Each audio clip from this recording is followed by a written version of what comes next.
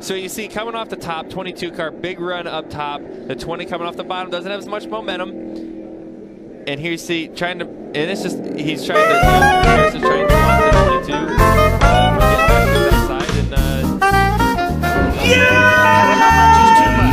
I mean, I, I get one tap to say I don't appreciate it. When you have the second time, uh, have we crossed the line? What do you guys think? I think that caught them both by surprise. Nobody expected a car to spin on the No, you don't.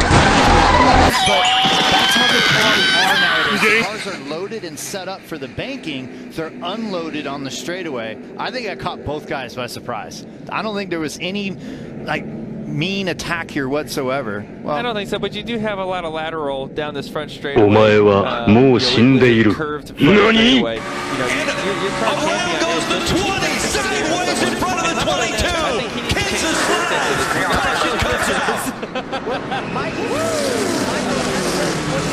The 22 was all over the back bumper. Whoa! Deja vu.